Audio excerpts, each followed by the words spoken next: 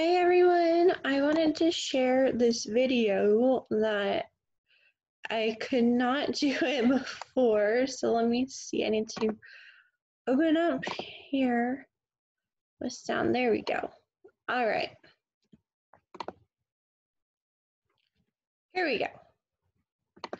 So I wanted to share this video of gardening and um, basically gardening is something that a lot of people can do. You can, um, it's good exercise and it builds, uh, at least for me, arm strength.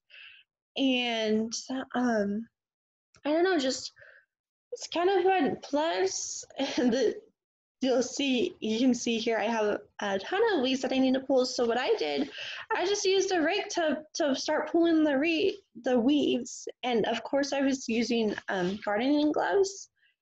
And basically you can see here um, that that's all I was really doing. And um, it, if you have like aggression or whatever, it works for that too.